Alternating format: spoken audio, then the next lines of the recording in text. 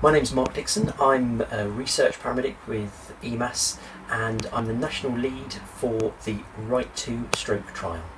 RIGHT 2 is the rapid intervention with glycerol trinitrate in hypertensive stroke, trial 2, and it is a randomised controlled trial where paramedics can sign up, complete the training and enrol uh, eligible stroke patients to see whether giving a GTN patch uh, actually improves patient outcome after their stroke. As we know, stroke is the third most common cause of death and disability in the UK, and treatment is limited to hospital therapies only. So, um, by getting patients to hospital quickly, um, we can uh, impact their, their, their, their outcome. Stroke is caused by uh, either a blockage in one of the cerebral vessels or uh, a rupture to one of the blood vessels in the brain.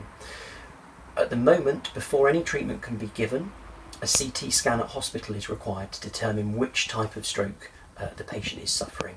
But this patch is effective in both types of stroke and we can give it early in the ambulance within an hour of symptom onset.